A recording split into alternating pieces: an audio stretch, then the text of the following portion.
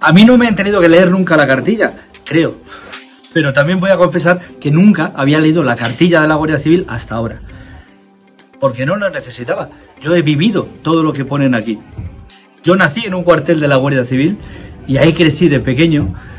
Y todo lo que, lo que supone la Guardia Civil, el espíritu de sacrificio, la lealtad, la disciplina, pues es algo que para mí era el día a día.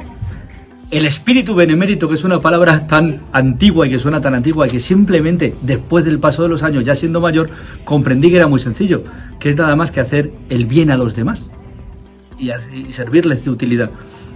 También ahora que he leído la cartilla, he encontrado otra definición que me encanta, que dice, el guardia civil procurará ser siempre un pronóstico feliz para el afligido. Y es verdad, porque cuando estás en verdaderos apuros, llega la Guardia Civil y te sientes seguro. Así que, ahora que me he hecho hombre del tiempo, comprendo que la Guardia Civil es un pronóstico feliz para el afligido, aunque he sabido desde siempre que era hacer algo útil por los demás, porque es lo que he visto hacer a mi padre toda su vida, llevar a o no de uniforme.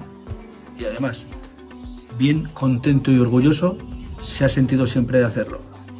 Y yo también.